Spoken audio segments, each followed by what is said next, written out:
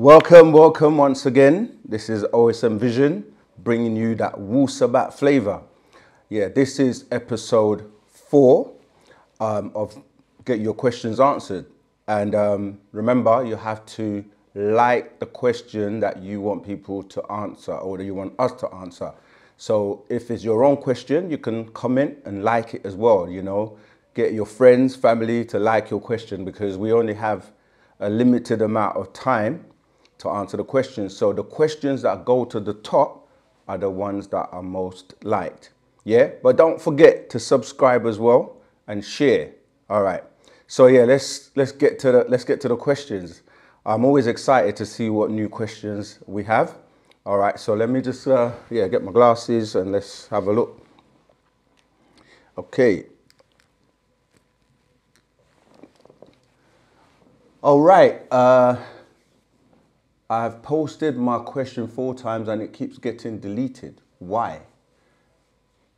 I don't moderate. I don't moderate the platform, so I guess is there any profanity? Is there any, you know, you being rude or anything? I don't know. I don't know. I don't know what your question is, but you have to ask the, um, the moderators on the platform for that.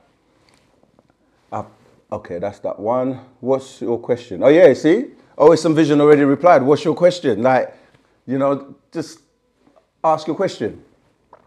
Right. Uh, at OSM Vision, did we choose the experiences that we encounter in this lifetime and is manifesting real?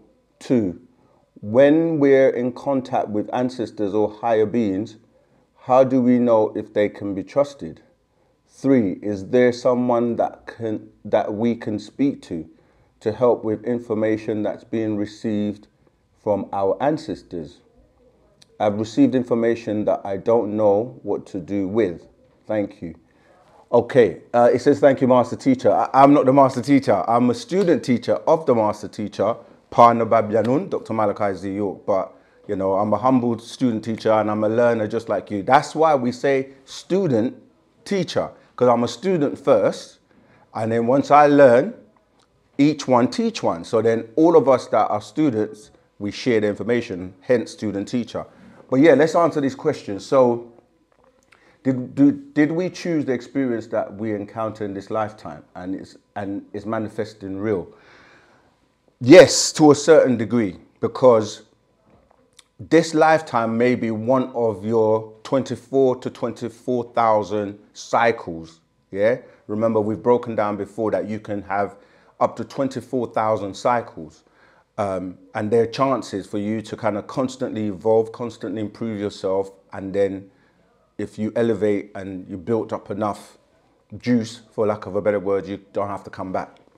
All right. Um, the reason you choose is because I explained also in a previous video that depending on what you have to complete in terms of your purpose, it's wise to choose someone who's going to help you accomplish that.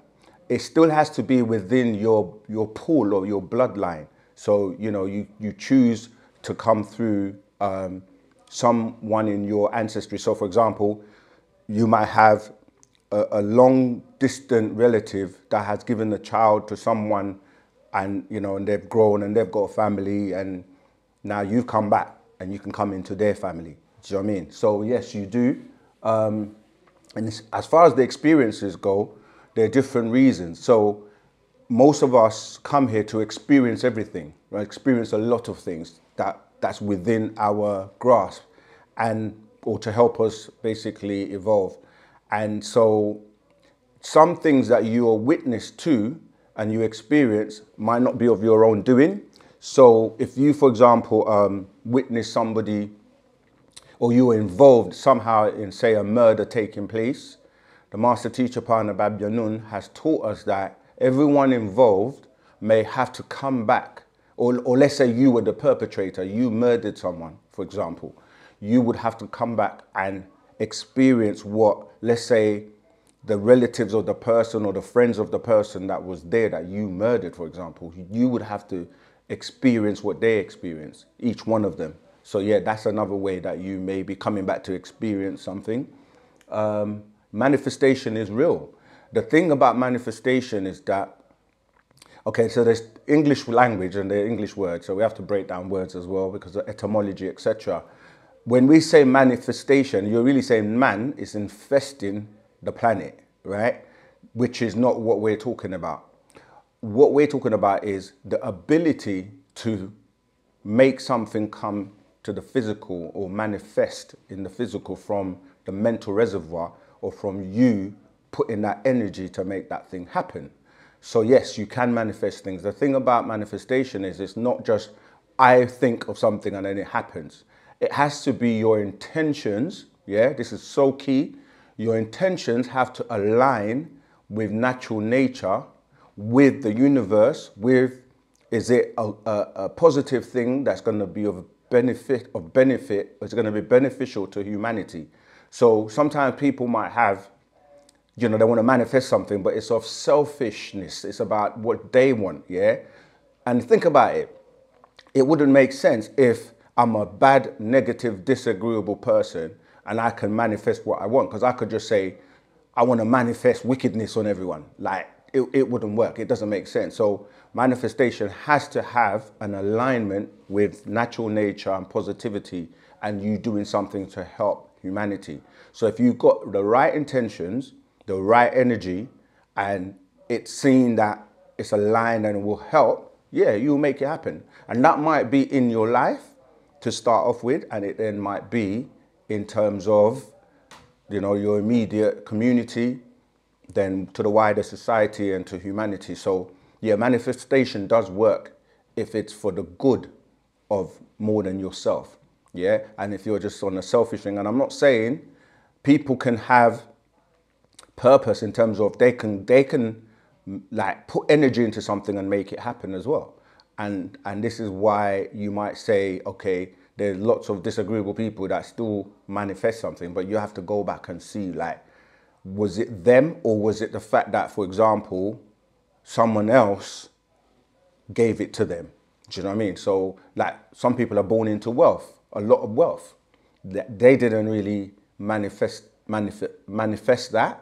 They're just born into the wealth, but they can use that wealth in a disagreeable or a positive or a negative way, yeah? All right, you've got quite a few questions, so let me try. I'm going to try and skip through the questions really quickly um, today as much as I can. You still get your answer though. Um, when we're in contact with ancestors or higher beings, how do we know if they can be trusted? Excellent question. It's, this is so important because you have people that can be impost, imposters or fraudsters, yeah? Like appearing to be your ancestors only to trick you.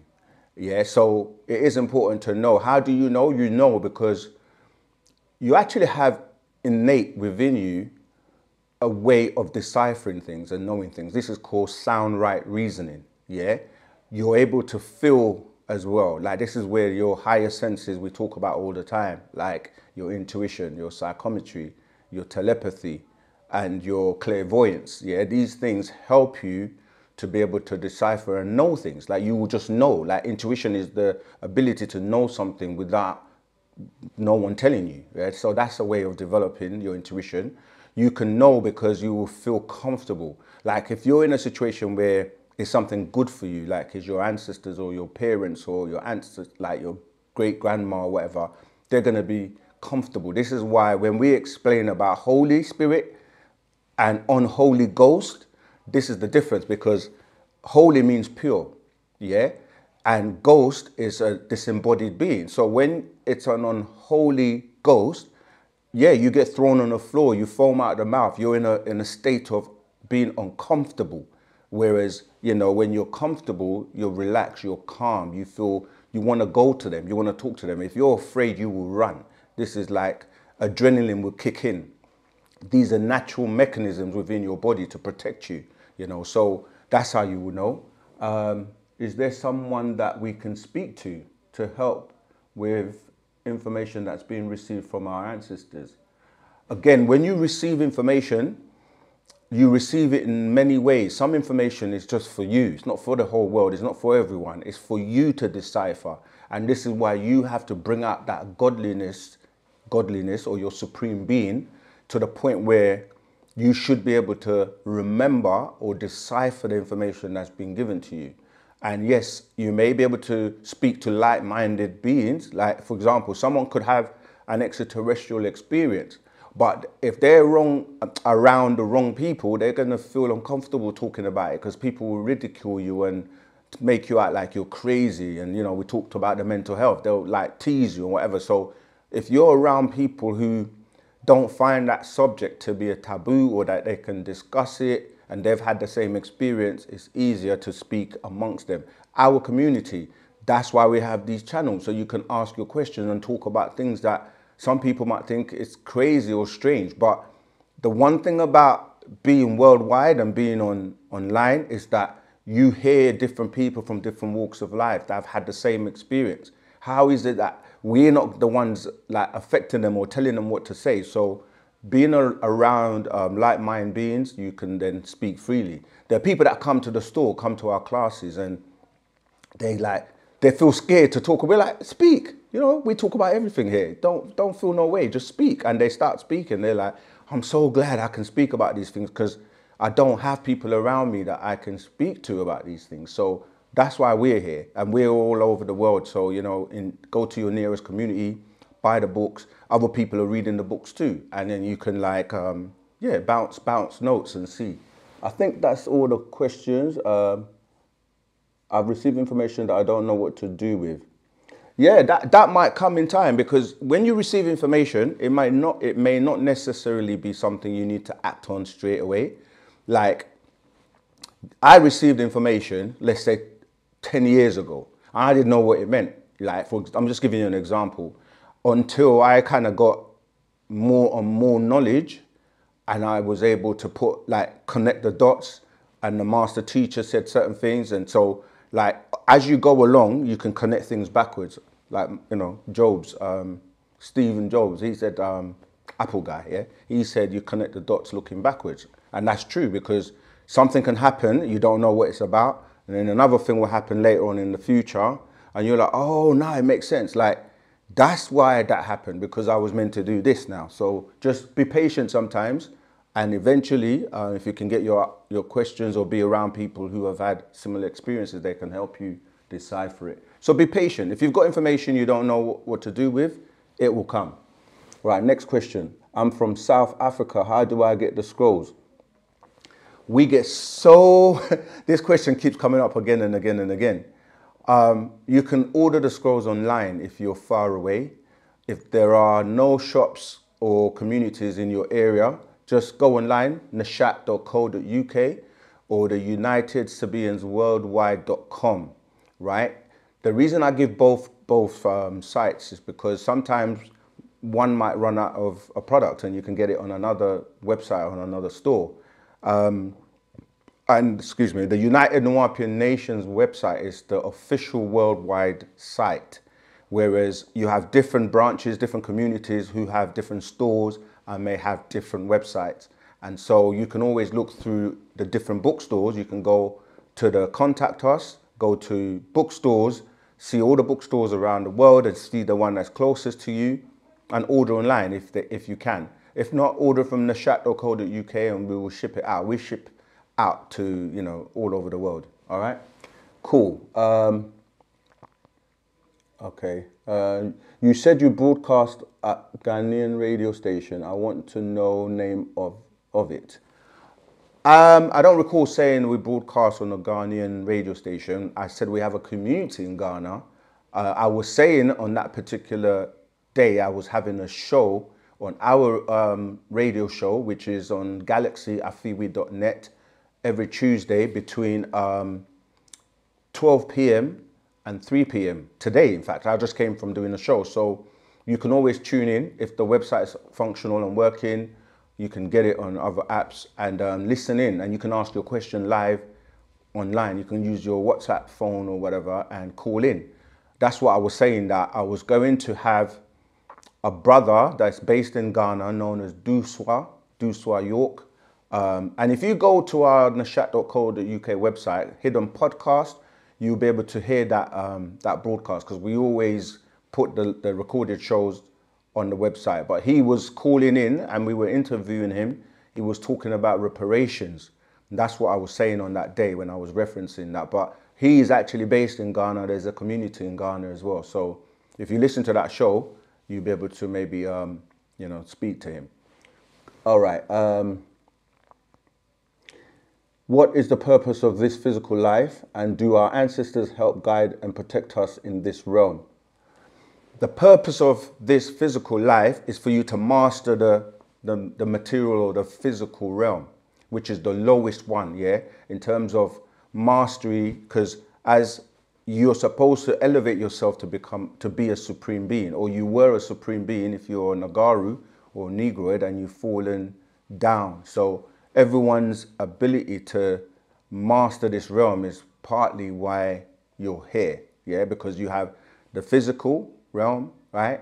You have the spiritual realm, you have the soul realm, you have the mental realm, and you keep going up all the way to the different etheric realms, nine ether, nine levels of them. So the lowest vibration or the lowest one is the physical realm or the material plane.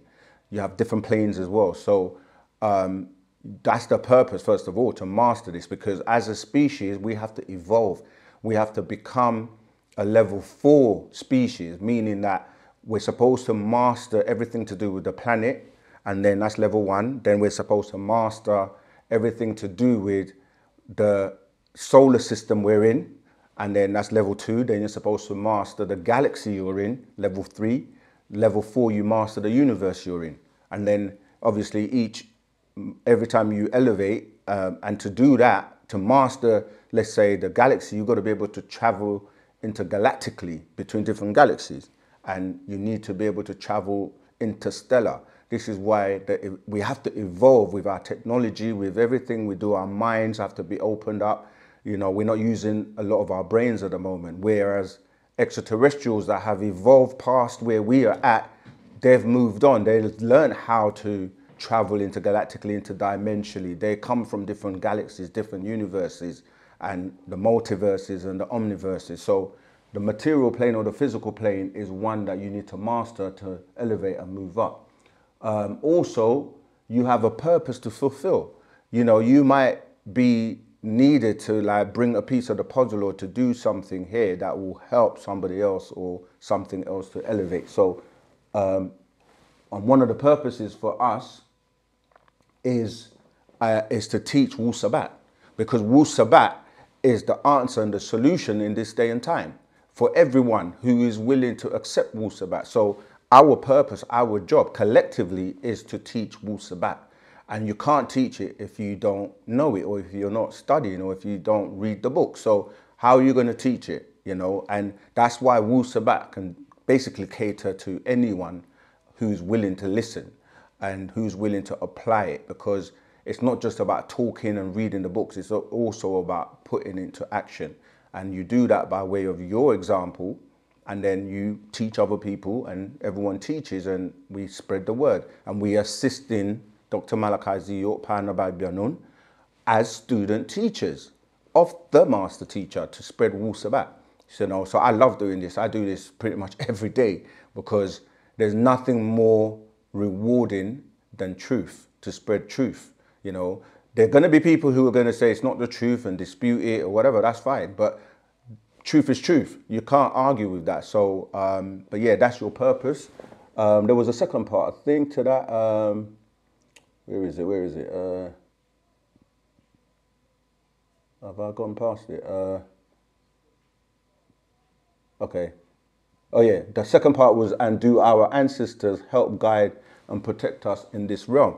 Yes, they do. Now, the problem is that people think their ancestors are like separate from them. You're actually connected to them. The, diff, the problem is that you've cut them off or the world has made you to disconnect from them.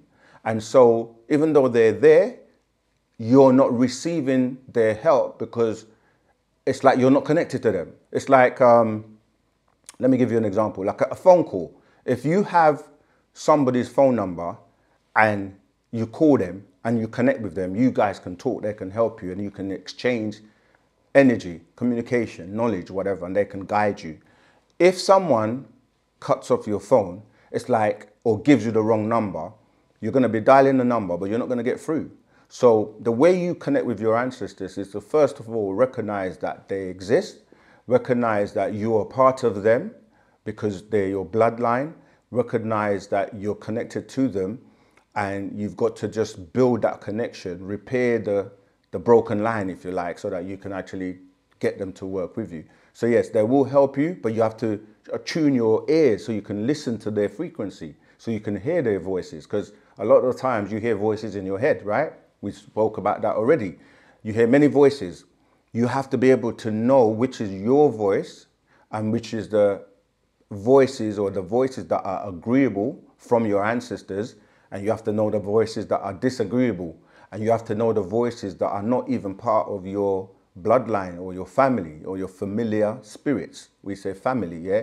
These are external voices because like frequencies can be sent and you can pick them up. So sometimes it doesn't even come from you. So yeah, it's about, again, elevating yourself to know what voices you're hearing and one of the ways you can help, one of the ways you can um, help yourself to basically recognize them is every time you hear a voice or you hear someone trying to influence you to do something where there's a strong pull, where you're fighting it. Like say someone's telling you to do something disagreeable and you recognize that, label it with a color or a name or something. Like, I don't know, let's say it's a negative thought, you can go, okay, that's, that's negative red, for example. Uh, or you can give them names like, okay, that's Uncle Sam. He used to like smoking, so he's trying to get me to smoke. I don't want to smoke no more. So you label him Uncle Sam. Next time, you know, another agreeable voice, you label them. And eventually now you get to a point where you will know, okay, okay, that's Uncle Sam. He's trying it again. So cut them off, you know. So you got to find ways of finding out which voices are, um, are coming to you. Okay. I really enjoyed watching your videos. They give me more knowledge, wisdom, and understanding. Please keep up the great work. We, we, we, we give thanks to you guys for tuning in, for asking the questions, and like let's just keep it going. Let's share the knowledge. Yeah. So thank you. Um, next question. Thanks for taking our questions. I have a few. Hope you don't mind. I can see like eight questions already. Okay.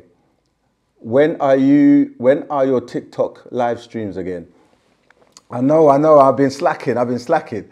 The, um, the TikTok videos, you know what, I've actually got recordings I haven't had a chance to edit and post because, you know, we're doing a lot um, and we had to just take a bit of a, just kind of, something has to give at some point. So, we, you know, we were working on the book, we were working on the academy, we're on the radio shows, we're doing these um, episodes now that Ask Me Anything. We do the questions every Saturday. So yeah, some things have to like take a back seat for a moment, but I'm definitely going to go back to the live streams um, within the next couple of weeks when we've kind of moved, got certain things done out of the way.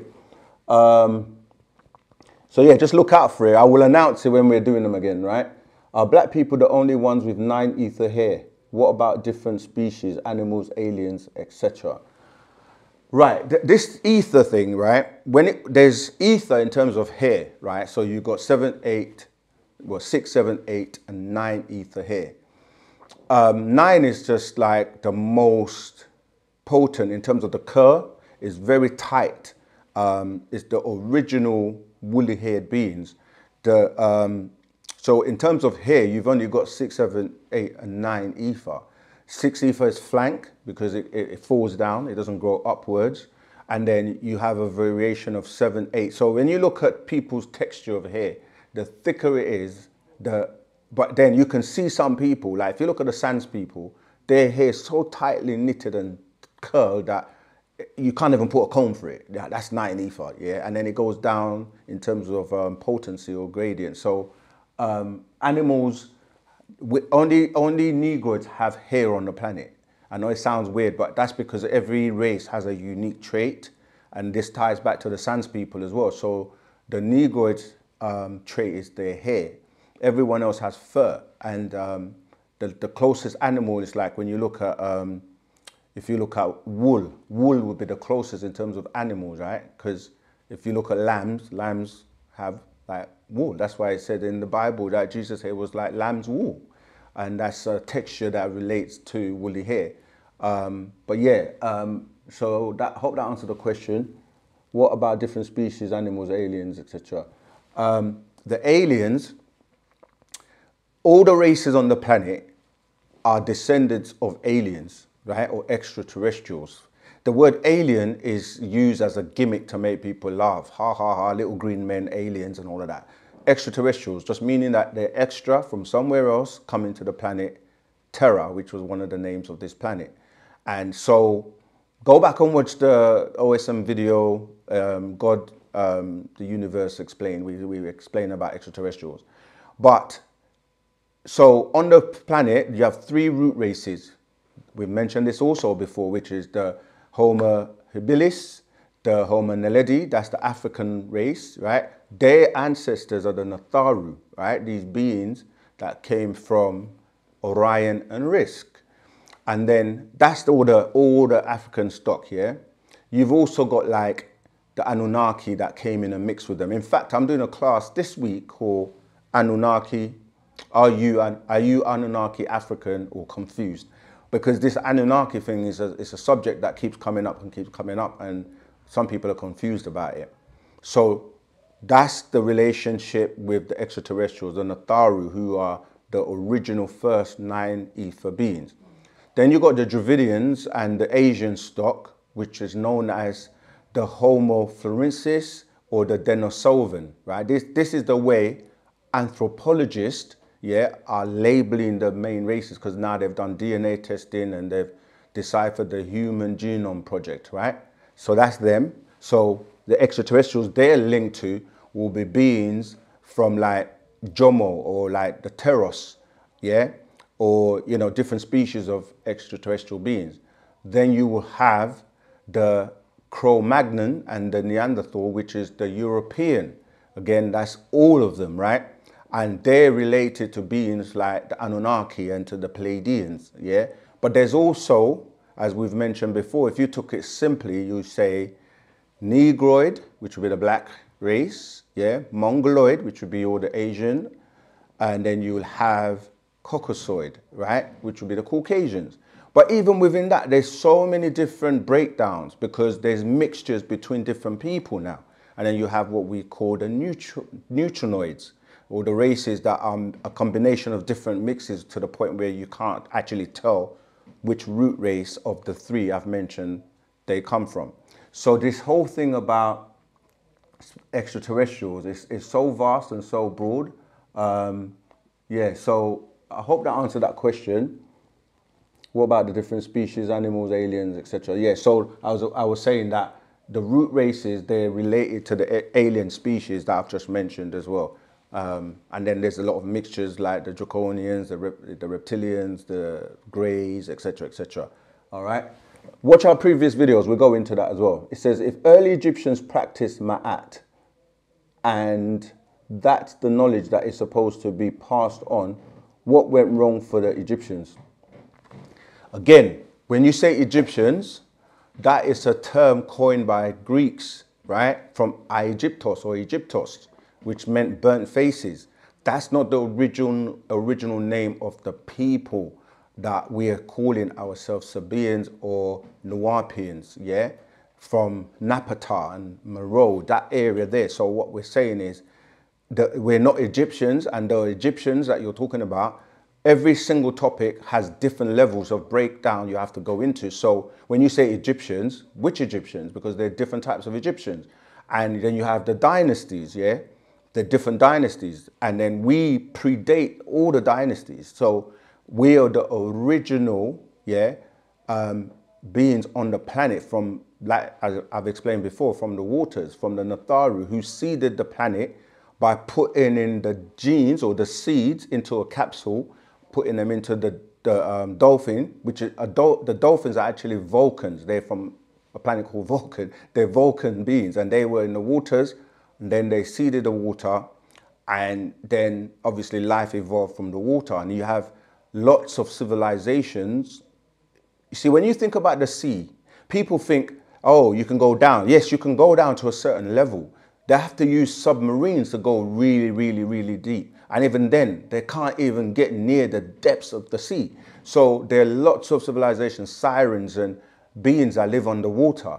You know, only when you have an experience with some of these beings, some people see, they're called the mermaids and mermen, right? These are sirens that existed way, way before a big tsunami threw things onto land.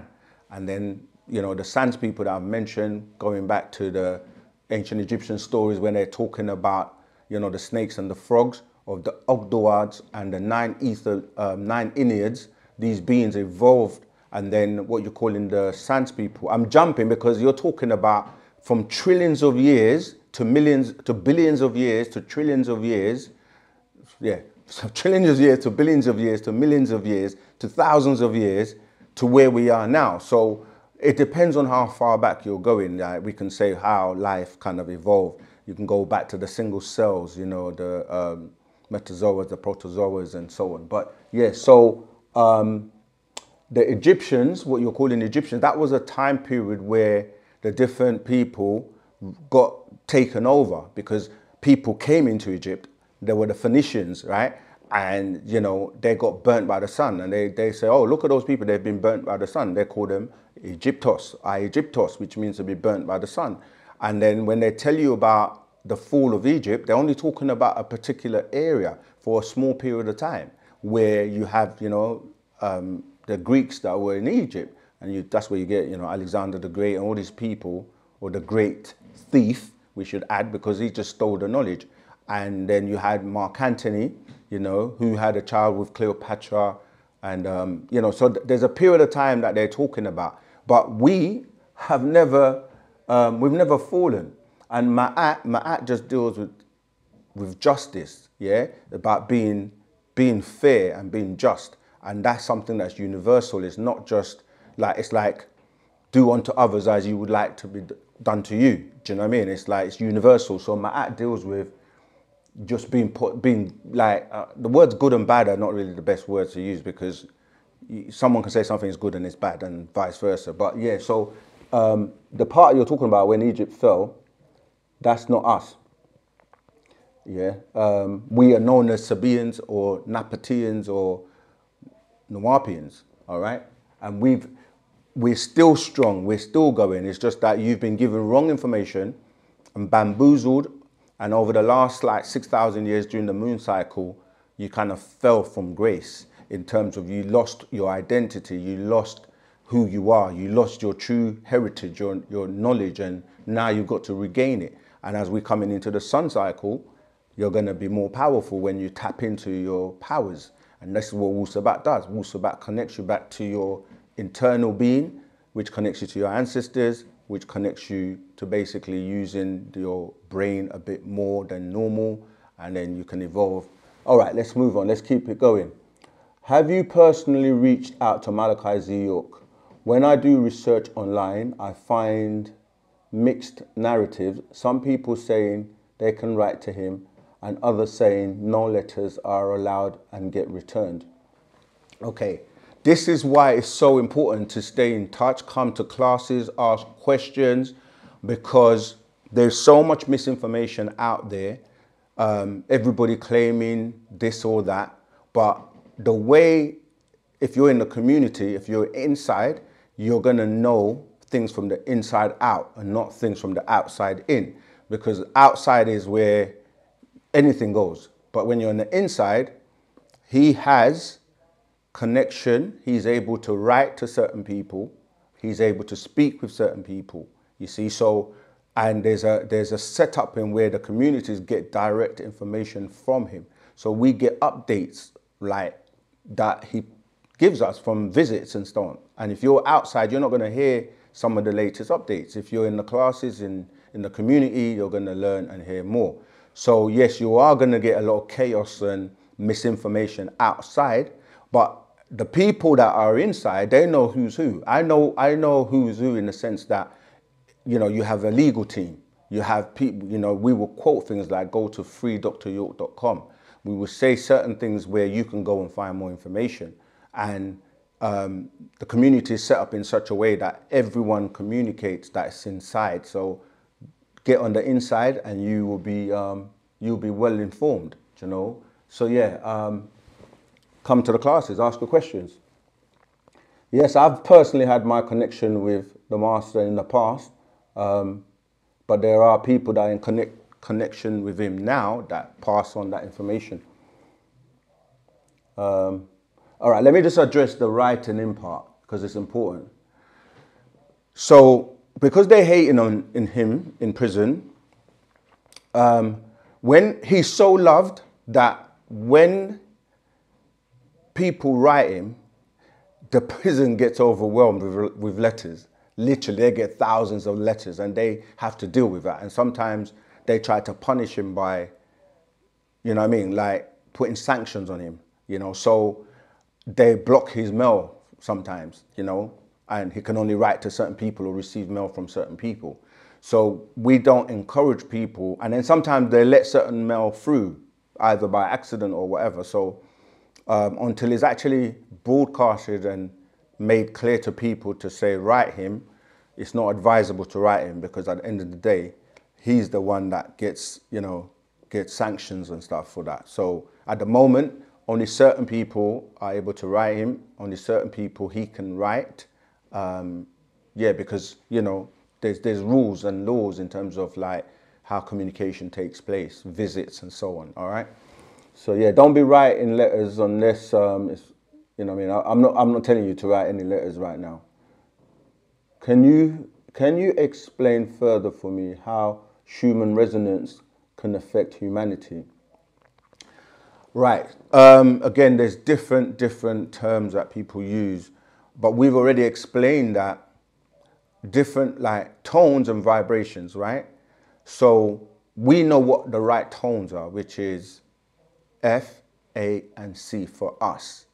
So we don't want to. Um, we, we we get information, we get guidance, and we kind of stick to that. Yeah. So there are other types of um, frequencies and other things that people will say um, or tune things out so that you're, you know, you're, you're basically off tune or not in key. So uh, we stick to the tones of F, A, and C. I will elaborate a little bit more on that because I see another question that kind of relates to that. Can you talk further about the two other chakras above our head? What are their purpose? Um, again, like I just mentioned, we get updates and we get information from the master teacher, partner Bab Yanun, Dr. Malachi Z. York, and sometimes we have to be patient and wait for him to give us more information. Um, so that was something that he told us from an update, and he said the two chakras they they sit above your head, um, as in not the one that most people know about as you know the the pineal gland, um, where the pineal gland is, because your glands relate to these energy centers, which people call chakras, um, which is really just a, it's a san Sanskrit word, and it relates to energy centers. Now, these energy centers, they're superimposed on actual glands, like, you know, pineal gland, your thyroid gland, etc., etc.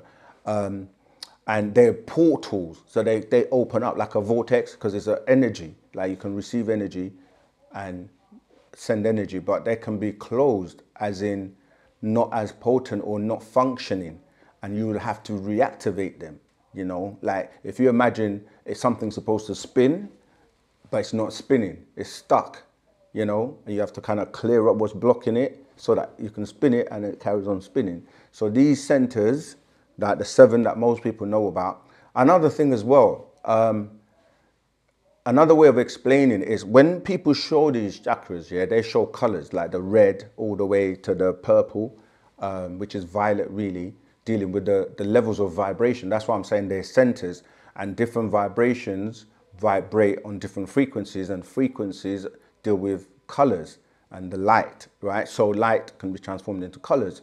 So the colors, if you took each color, like let's say, let's take red most people think of one red when they say red, but there are millions of variations of red, just like there's millions of variations of blue, millions of variations of black. You know, if you look at the black you're wearing, a lot of the time they're not the same shade of black.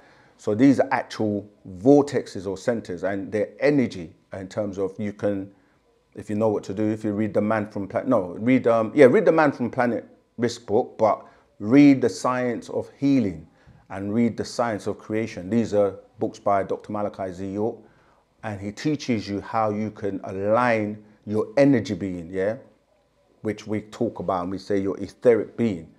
You have a connection with your parents on the etheric side, you, when you're born into this world, you have doctors on this side that are waiting to deliver you, and your, you know, your parents and your mother.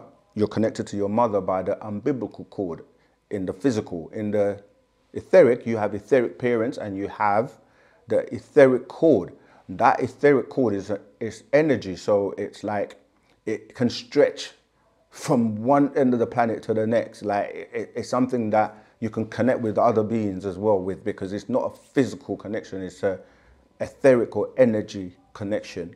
And this is why when you get close to someone, like in a relationship or whatever, someone you're very close with, that bond becomes stronger. And when you try to cut ties, as in maybe when you know you, you break up or there's a division, it takes a long time for you to, to kind of lose that connection, that energy, that feeling, the butterflies as people call it in their stomach, you know. So um, yeah, I hope um, that's answered that question. Um, what was it again? Okay, oh, about the chakras, yeah.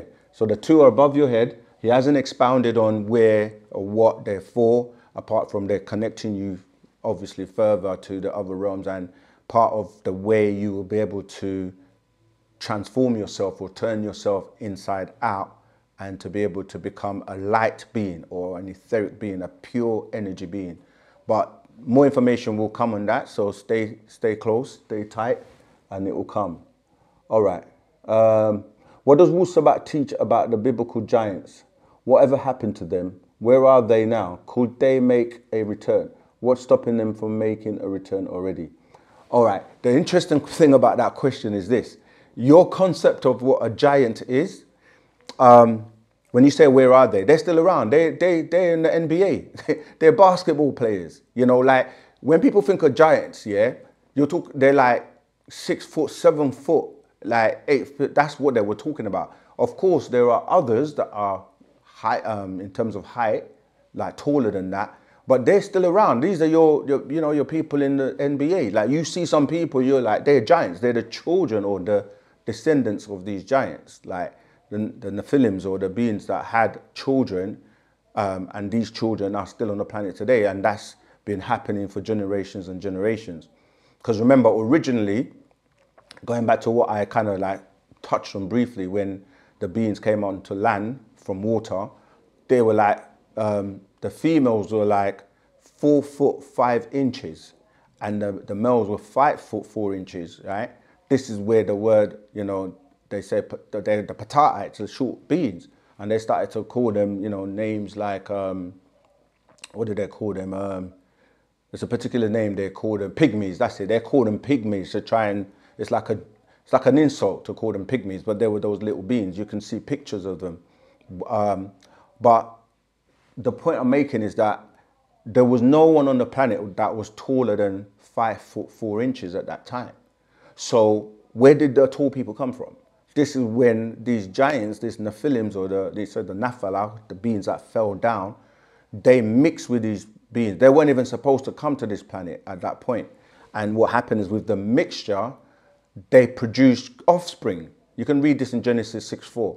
And the offspring is when the the guardians of the galaxies or the Natharu, the, the overseers, they were like, oh, okay, you guys have done what you're not supposed to, which is come here and have sexual intercourse and, and have children. Because now there were people on the planet that were different heights. That's how they knew that they violated that law, that immigration law of not coming here. So they had to set up and like quarantine them and say like this is Nupu, which is like the green zone, and this is Zupu, which is the red zone. And you weren't allowed to mix, but that goes into another whole story.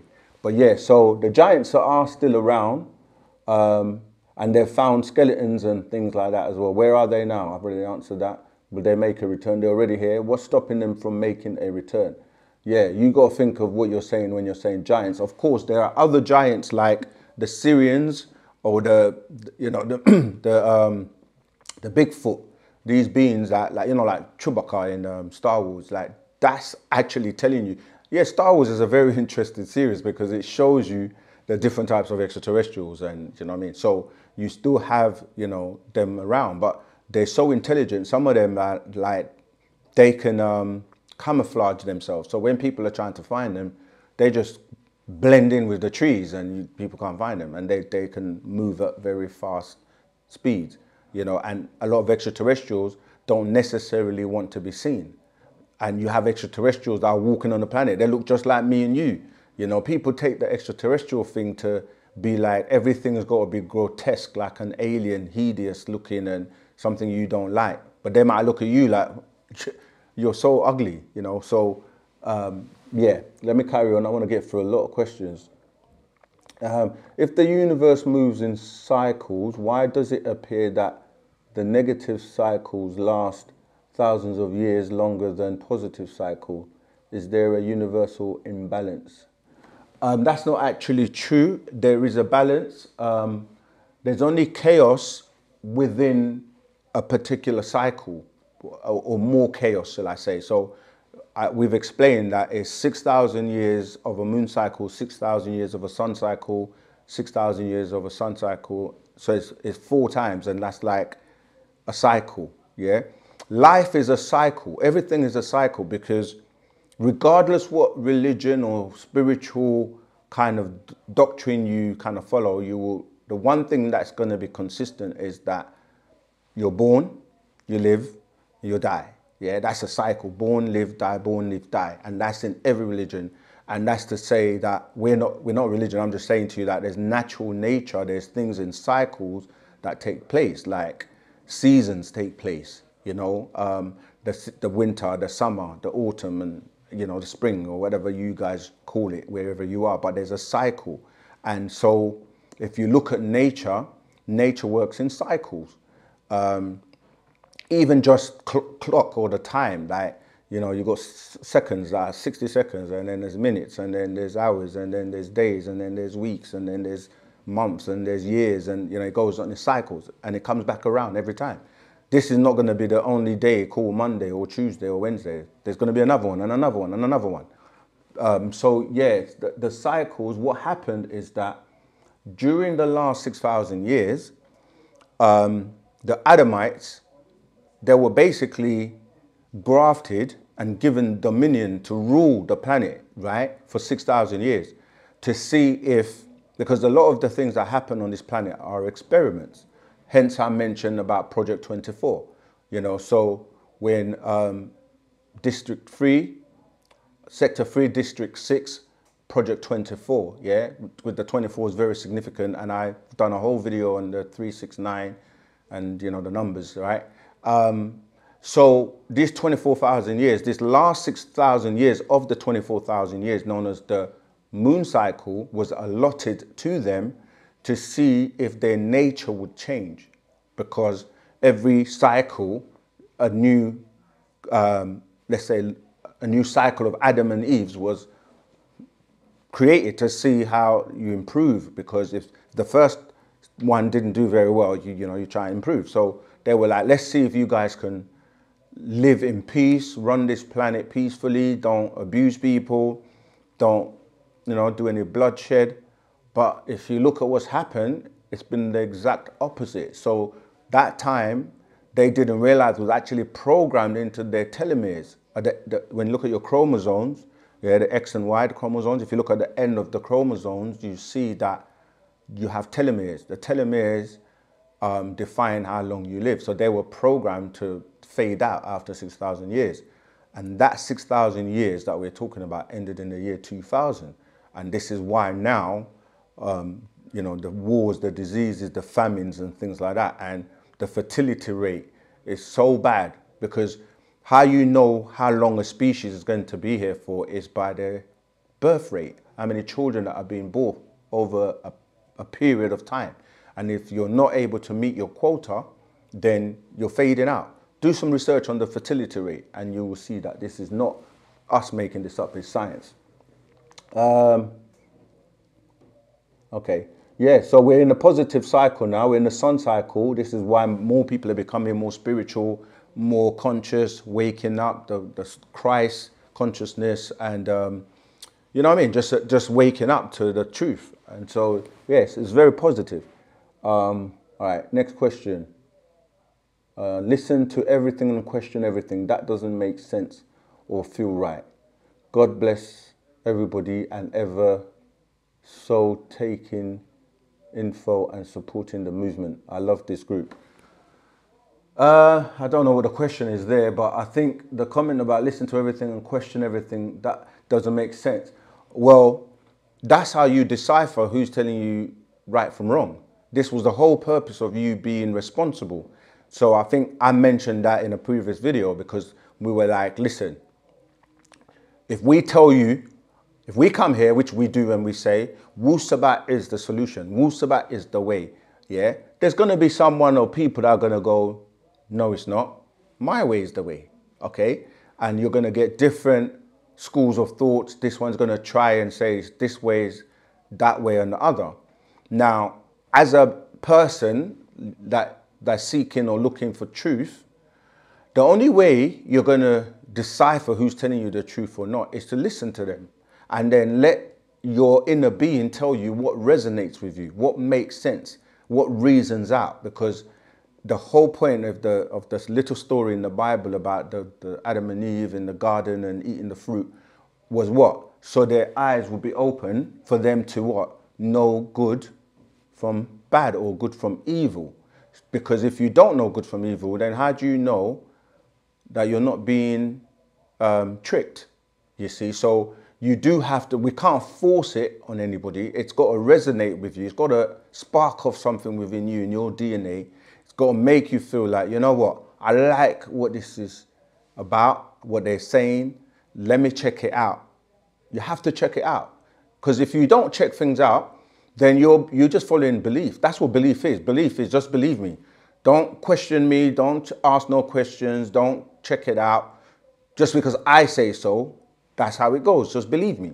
And we say, nah, I can't believe you. I can't let you take me off a cliff. Do you know what I mean? I want to know, do you know what you're talking about? Do you know where you're going? If you don't know where you're going, how am I going to follow you? So you do have to question and research and check things out and then make up your mind based on how it resonates with you ultimately. Yeah. Okay, so I hope that clears that up.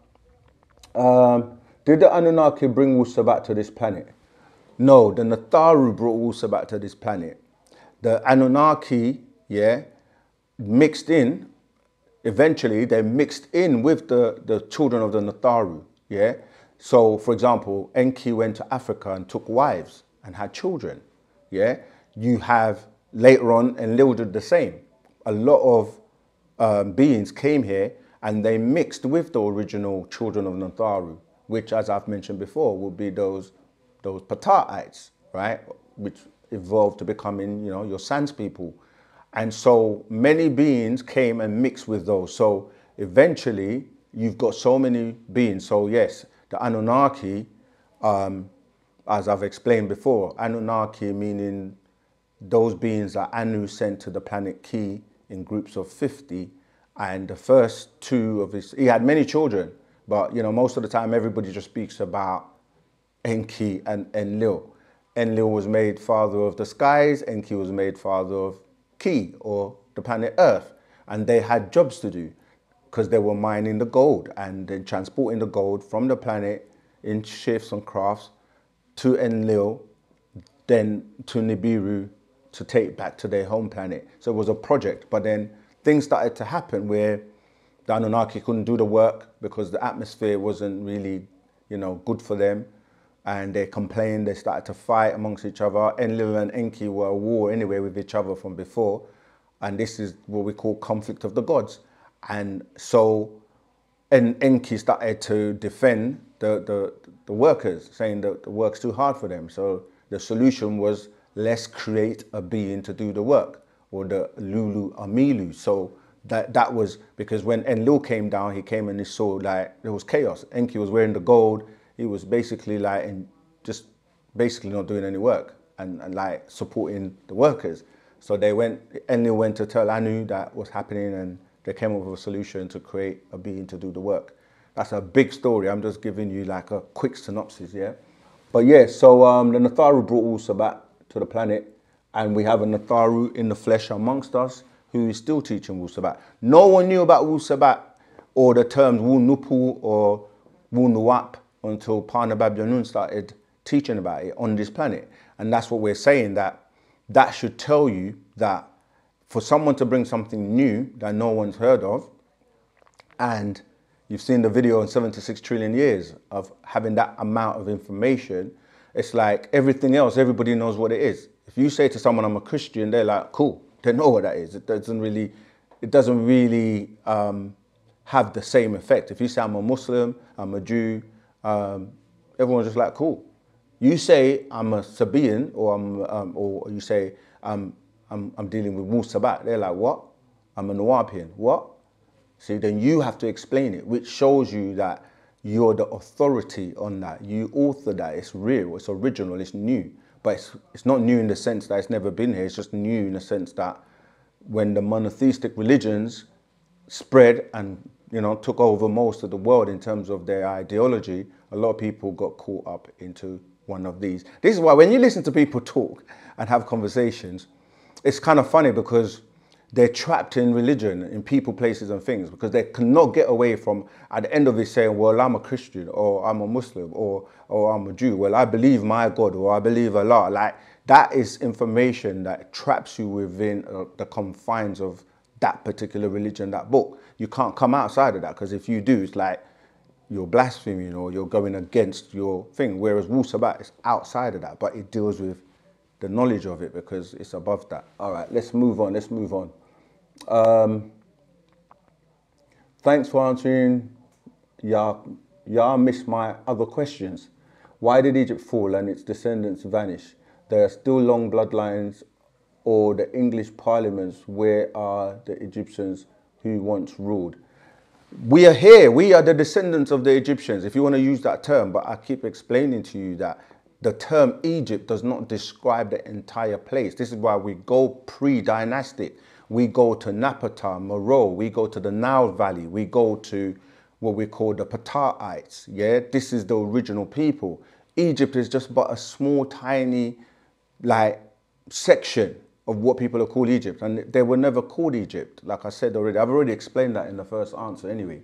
So when you say where are they today in Parliament, Parliament and that whole English, they're like six thousand years old you, you can find, I've given the anthropology, anthropologist terms for the races on the planet, which goes millions of years, right? So 6,000 years is quite small compared to millions and millions of years. Get the book. In our book, we explain and show you the different findings. Ardi, you know, Lucy, these are, these are like, they've dug up these skeleton bones and they know they go back millions of years. So the original Egyptians are walking all around the planet on the world, in the world right now we are those people. We're descendants of them. It's in our bloodline. So I don't really get where you're coming from in terms of that question. Does Wu Sabat plan to organize an army? The world was taken by sword. Do you believe to reclaim it without violence? Listen, Wu Sabat is a peaceful way of life, and this army thing, like, what does that? What does what do armies do? They just end up killing and, and bloodshed, and we are not planning on taking over the world and by the sword. Uh, the, you say the world was taken by the sword. Which world? I mean, if you're talking about, if you're talking about the Crusaders and, and um, you know, the Arabs and people that went around the world fighting by way of religion, which is still going on today, you know, Ukraine, Palestine, Israel, this is what's been happening for millions of years, like, like thousands of years. They're just fighting wars. Yeah, actually, going back to Enlil and Enki. So, Wu Sabat yeah, it's a peaceful way of life and it's based on natural nature. You don't need to pick up tanks. Natural nature is dealing with removing, remember what I said at the beginning, the manifestation or the man that's infesting the planet by polluting the waters, by, do you know what I mean? Like just all the atrocities that are going on on the planet. And Mother Earth is tired of it. And she is actually removing people. So, yeah, we, we, we're not about that. Um, organizing armies and it's like it's like if, if you say someone is a devil and you say what does a devil do and you say a devil kills wars stabs people shoots people all of that. And then you do the same thing. What makes what does that make you? It just makes you a devil. So you know what i mean? That that reasoning doesn't it doesn't actually work. Obviously defending yourself is something different. If you are attacked you will defend yourself. And we don't turn the other cheek. If someone attacks us, we will defend ourselves, but not telling anyone to pick up arms. And we can go back in history and look at the people who tried that. Your Malcolm X's, who says by any means necessary, and you know they show him with the AK. It's like that was suicidal if you really think about it. And did it work? No, it didn't. If you don't create the guns, the weapons, the tanks, the ammunition, and you're fighting against someone who does, come on, man. Like, we have to be serious. Sometimes we, we talk about love is the key, love is power, and then we talk about, you know, violence. Um, violence is not the answer in that way. So it's about love and unity. Divine love, let natural, natural nature takes care of things. The tsunamis, the earthquakes, the tornadoes, no weapon actually can stand against that. So if you look at the world, study it carefully, you see that natural nature will take care of things. So yeah, we're not we're not um, advocating pick up arms, set up an army, and all that, and violence. This is a new age. Why aren't your scrolls accessible online? Our scrolls are accessible online. However, there's a lot of piracy people are duplicating, copying, PD, turning our scrolls into PDF and sharing them. The whole Holy Tablets is online. Um, you have to remember that this is intellectual property, you know, and if it doesn't come from the source, the author of the books, um, if he doesn't give the sanction and the go ahead for that to happen, it's not going to happen. But there's a lot of bootleg and people are doing this and it's not fair because like that's someone's intellectual property at the end of the day.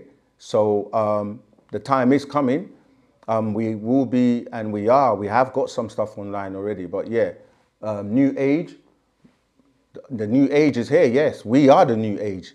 We are the future. The old age is what? Decrepit and dying. It's like anything that's not changing is gonna die because that's, that's what it is. If you're not evolving and changing, then you're dead.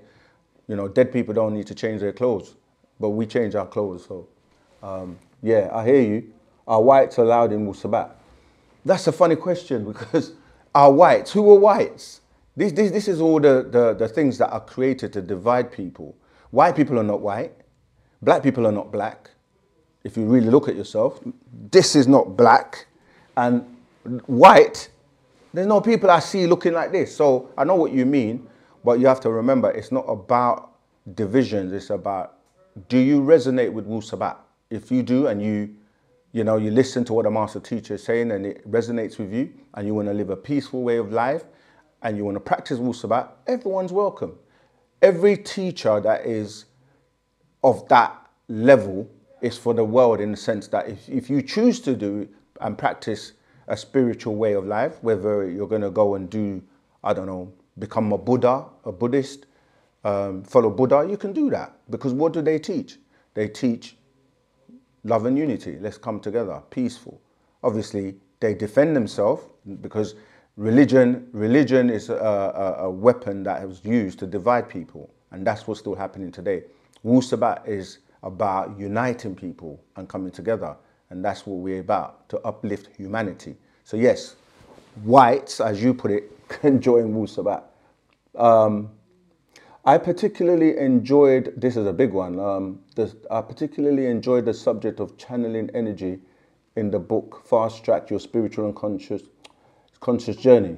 My question is when intuition sets in regarding a person or subject and we ask our ancestors for help and our ancestors brings us the help by showing us the knowledge of who a person really is, how do we channel the disappointment when the bubble is busted. That bubble being the illusion of what we believe that person was. I was recently tested with this in the early stages of dating a particular person. Disappointment set in. I meditated, saged myself and my whole house, start listening to music I love, and it helped. Am I on the right track? that was a long question. I, I think the last part is where am I on the last, am I on the right track?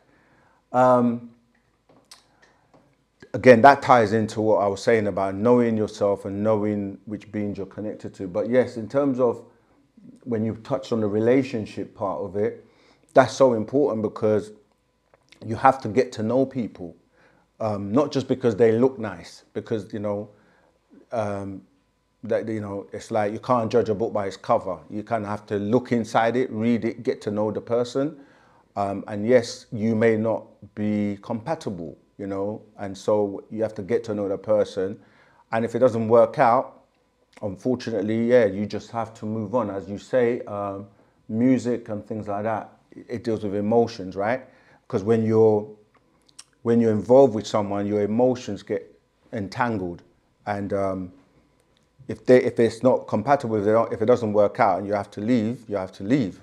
Um, and and then that energy, that emotions that you had, you have to figure out a way of channeling that energy. So yes, you're on the right track because some people will allow the negativity to get the better of them, you know, because you don't own anyone really in life. Like some people, if they break up from a relationship, they might do something disagreeable because, you know, some people are like, if I can't have her or him, nobody else can have them. And sometimes they will go as far as even, you know, taking their life and then taking their own life. And it's just like, it's emotions. So you have to be in control of your emotions and know how to channel that energy properly. And it may be for the best that, you know, you might then come across or meet somebody else who's more compatible with you and it will work out. So yeah, you're on the right track. You're on the right track. What are the potential paths for our souls after our physical bodies die? Well, the potential part, uh, paths is that you continue to live another existence, you know, because this, this life is not the end because energy does not die. It can be transformed or it can basically be trapped. If you're not trapped, you're able to transcend and like you see, like you've come here and had this life, you move on and have another life somewhere else.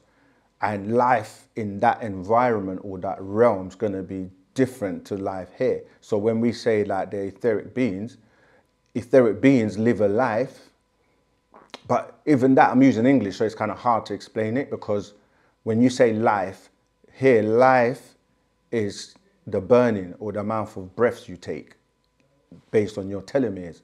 So life can be defined as if you had a million breaths, at the end of the millionth, that's your life done. Etheric beings don't need, they're not using physical bodies like we are, but they can see, but not with these eyes. They can see your energy or pick up your like your vibration or your aura. Yeah. So um, you can live. Let's say that's one of one another form of life you can live, and then you can keep going because, as I've explained, when you look at things on a, as a cosmosan, right, you're not just dealing with people, places, and things. You're not trapping yourself in a religion, in one book, when there's so much information, so much knowledge in the world. You're not trapping yourself in a planet when there are many planets. You're not trapping yourself within a solar system or a galaxy or a universe when there are multiverses and omniverses. And, you know, there's no limitation to what different types of existence you can experience if you make it, you know. So when you say that, um, what's the paths of the soul, that's one of them to continue on. Um, another one is it can be trapped, and you can be trapped within this realm. Um, you can get to a point where you haven't elevated enough to have a soul, to the point where you dissipate, meaning that energy cannot be destroyed, but it cannot continue to elevate and live and have other experiences in other forms of existence. So, you know, it's up to you. You can either be trapped, be trapped here, be trapped in a realm lower than the higher ones, or evolve and continue to experience life in different forms of existence in different realms. All right, cool. Let's move on. Um, Great question right there. Yeah, people are supporting that question. This is what we're saying. Give the thumbs up, like, comment on the question you like. It gets pushed to the top. We get to address it. If you don't, you may not get it answered. Yeah, so remember that. Um, okay, here we go. Uh, how do you fully decalcify the pineal gland? In today, day and age, seems like it will be daunting task with all the distractions, chemicals, and everything we consume and wicked state of the world. Absolutely. This is why you can't let up. You got to do your best every day. Like drink a lot of water. You don't actually need as much food as we, we consume, you know, like you can do with very little. Your stomach's actually literally that small. Like, um, but there's a, a preoccupation with the with the media, with the advertising. You know, you want you, you're told you eat to eat three meals a day, you know, breakfast and lunch and supper. Why? Like that's just a programming. And some people literally go like, if they haven't eaten three meals in a day, it's like they're falling to pieces. But it's about doing the best you can with what we have, fruit and veg. Um, try to eat things to keep your body alkaline. Drink lots of water. Meditate. Fast. Um, relax. Have fun do you know what I mean? Do do things that are healthy. Go go for walks in the parks. Breathe breathing exercises. So I know it is hard, but you can still maintain your world. You know your your world within a world. You know. So yeah, it's not easy. That's why you have to be on it every day. Um, blessed brothers and sisters, will the ET be making a public viewing anytime soon? I know some people take it's like they think it's a joke, like um, some question, I don't know if you are being serious or not, but ET, extraterrestrials, that's all it is. And they're already here. They make their appearance every day. You probably walk past them every day. They're different types of extraterrestrial. People say these things like to, in mockery or like it's a joke. But you know what I mean? To each their own. When you say making a public a, a viewing anytime soon, they're on the TV. They're people that shapeshift. They're people that are wearing skin suits. This is a vast topic. So if you're being silly, then be silly. But um, extraterrestrials have been here. They've been here for thousands of years. Come and go, live here, live with us. So let me move on to that other question. Next question. Thank you, Seqen, for this most clear, understandable information and knowledge.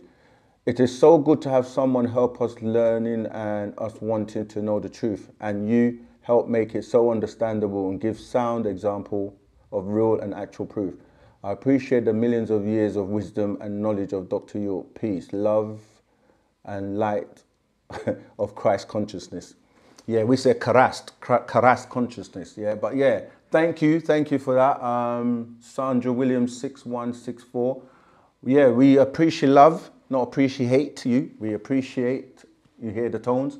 Um, yeah, like 76 trillion years is a lot of information. And one person um, cannot do it all. This is why you need student teachers. We're all supposed to be teaching Wu Sabat because to change the vibration and the frequency on the planet, you're talking about a planet of what, some 7 billion people.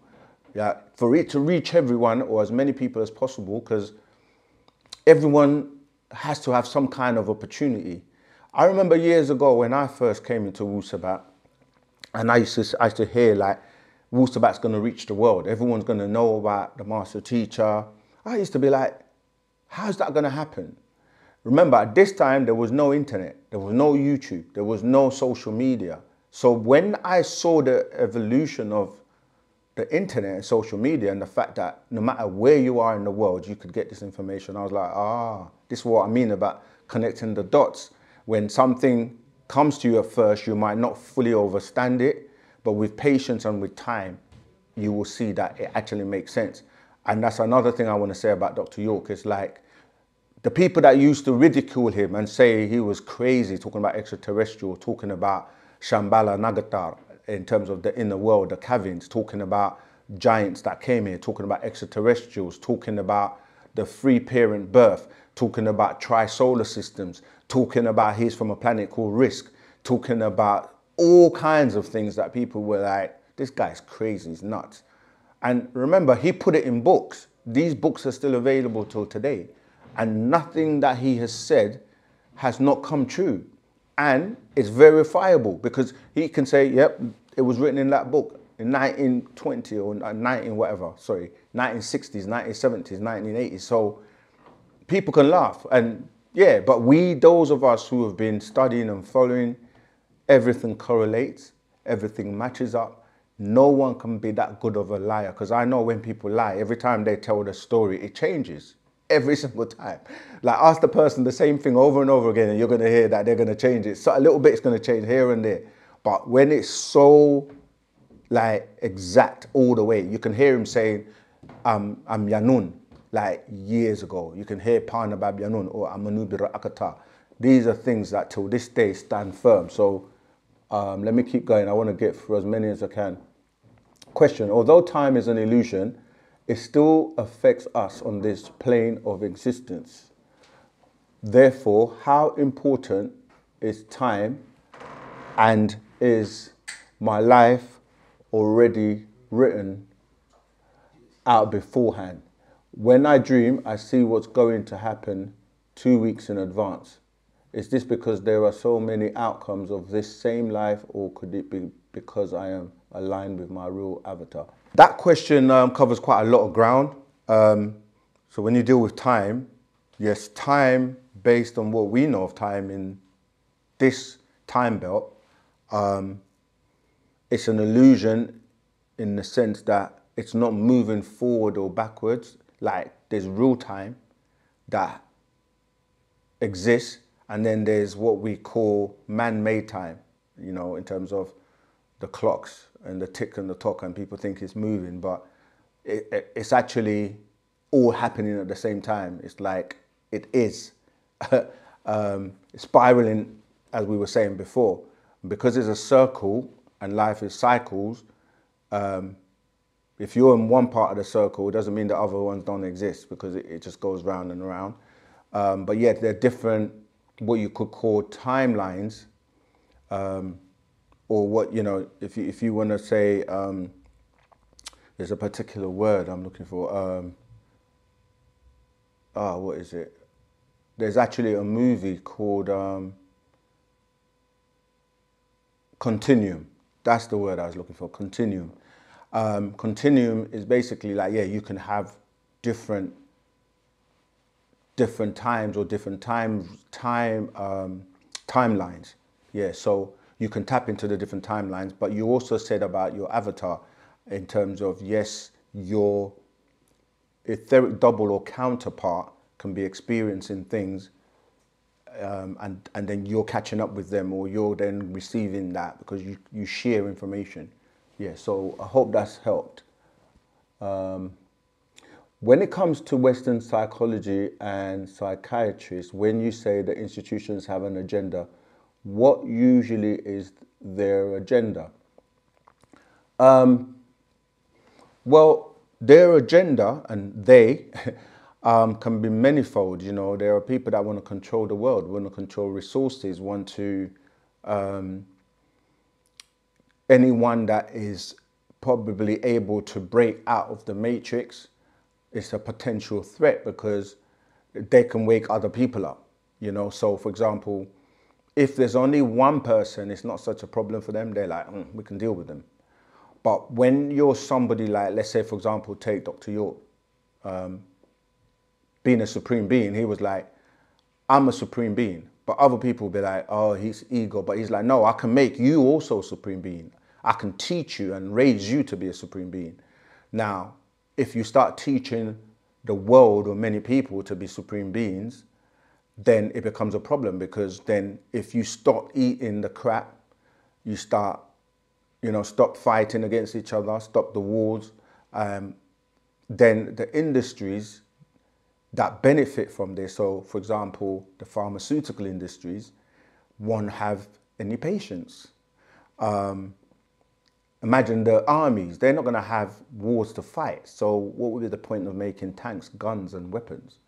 Um, if you know, you keep going, you see that if people wake up, start eating right, their health is going to get better. So, the health industry is going to suffer because it's a cycle.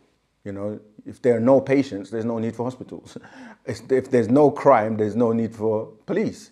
If there's no wars, there's no need for armies. You know, we can keep going on and on and on. Or what you would do is utilize the resource in a better way, you know, to like look after the elderly, help people, you know, clean up the planet for some. There's so much you could do with all that resource and that energy that is channeled towards fighting against each other, divisions and killings and murders and so on. So um, it actually benefits some people for the, to have the chaos Then you have disagreeable energy that feed off of the, ne- the negative energy that is created from this. So, yeah, I'm just saying like there, there are um, ulterior motives and sometimes some sinister agendas. Okay, um, I'm going to take a few more. Yeah, that one's big. It's a long one, so uh,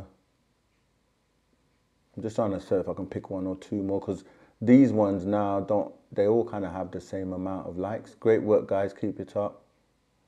Thank you for for very much for answering my previous questions. Uh, yeah, that's a long one. I'll come back. Some of the ones we skipped today, we might, you know, like them, subscribe, subscribe, like, share, comment on the questions, and we'll get pushed to the top. What is the perspective on abortion and who is making the decision in, in Wusabat? Since previously it was stated there's a specific amount of times you can come back. We don't, um, we don't promote abortions in Wusabat. Um, so, because by natural nature, things will happen naturally. Um, that's a big question. It's not probably one we can go into today. Um, but yeah, I understand the question in terms of who's making the decision is the person that's taking the life. And you can consider that as murder to a certain degree if, if, if you know, um, some, some life is taken. But that's something I think we're going to have to re, revisit and address. But um, we have our commandments um, and we, we yeah we don't we don't um, promote abortions. All right, but um, let me see. If we are if we are here on earth to experience, grow, and make the grade, why the need for fasting? Wouldn't that be part of experiencing the many flavors and taste in this dimension rather than deny ourselves those experiences? I said this before and I'll say it again. Please try to ask, learn how to ask a question and ask it, you know, directly and sub, you know, just make it easy. Um, and I'm not just saying that to that question. I'm saying that to to everyone. Um, that's like saying you don't need to do any work. You can just do what you like. I mean, imagine if everybody could do what they like, there'll be chaos. You know, so there has to be order the universe is not it's not chaotic. It's not supposed to be chaos. So you have to earn your you have to earn your grade. Not everybody is about the right thing. So you know you have to think about that when you're saying that. Um, we can't just do what we like because the beings, the high intelligent beings that run the planet, run the universe, and the, the guardians of the galaxy, etc. There has to be order that they maintain, and if they see chaos or things going out of balance, they have to fix it. Uh, my intuition has been with me all my life. Mitochondrial DNA has been correct, and almost everything I've felt has occurred. The jab in particular. Okay. Uh, great information. I'm still a bit of a skeptic. However, as I'm learning from you, your teachings, my guard is slowly coming down. Yeah, that's what we mean by, you know, we're not, we're not here to recruit and it's down to you, like study and if it resonates with you um, and it, you know, makes sense, you know what to do. Our last one, I'm going to take this one because um, what is the Wu Sabat perspective on Geo, if I'm pronouncing it right, frequencies? Is this the math of Allah or some trickery? No. Um, again, this goes back to the vibrations and frequencies, meaning that, like I mentioned before, I can't go into it today, but you know, the brother Terence Howard, I, I mentioned in my last video how he's one of the people I'm, pe people that I'm listening to at the moment because he makes basic things make sense. Like one times one should be two. We've been taught is one. And he went as far as showing how that has been programmed in the calculators to deceive you. And it's so minute, so simple that people would like not, they will miss it. But mathematics is what everything is built on. So if you get it wrong, even by just a little bit, it's wrong. It's like if you're trying to calculate something and you were going to be a millionaire, but 1p was short, you're not a millionaire. You see, that's how, as small as it is, it's significant. So he's explaining that with the maths, if it's wrong, then when you start to do greater things like I mentioned traveling interstellar, for example, you, you can't travel in straight lines because everyone tells you that the, the uh, shortest way to travel between two distances in a straight line. But that's not true in terms of if you can bend, right? If it's not a straight line, if you can bend it, you can make them meet. So instead of traveling, you can just go like that and they will meet, going into wormholes and portals and things like that. I'm saying that to say that if the calculator is wrong, then you're thrown off. We're probably gonna have to do a video on this, but um, I'm saying that to relate to your question about music. Music is tuned, the temperament that is tuned on the musical instruments was done on purpose. So, like for example, the key of C is tuned to 440 hertz, which is the, the resonant frequency is wrong. It's, it's, not, it's not agreeable, right? It should be 432 hertz. So, in relation to your question, somebody went about detuning or tuning out the instrument so that you don't get the right frequencies. So by going back to the right frequencies, in our case, we mentioned about the F, A, and the C, because these tie your body, which is the A, right? The F is nature or the planet, and then the C deals with the cosmos. These are everything vibrates on a particular frequency. So when you tie in with the frequencies that are conducive, then you're going to be calm. The reason I tie it to Terrence Howard is because you can heal thing, people of all kinds of ailments and diseases with frequencies, with vibration. So it's not about just the electrical charge, it's about the vibration. So you can tune yourself back into order because you've been out of tune. So that question is so great because that's what that's what they've done with music. So the tones around the planet, the music that is produced, a lot of it is synthetic as well. So it changes the frequency and the vibration. So yes, you're right. It's not uh, some trickery. It's just that the maths is wrong in terms of the music because music ties into maths because remember music is built on notes yeah and you have pulse rest there's rest between music you know when you get into music deep you see that it's mathematics so yeah it's it's like what I'm saying with the calculators and with the whole one times one thing with the music is thrown off.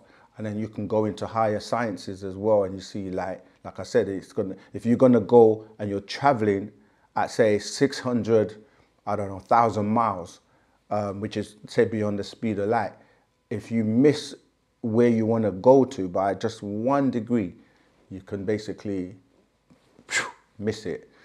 Um, yeah, unfortunately, that's the end for today. We've come to the end of the questions that we can take.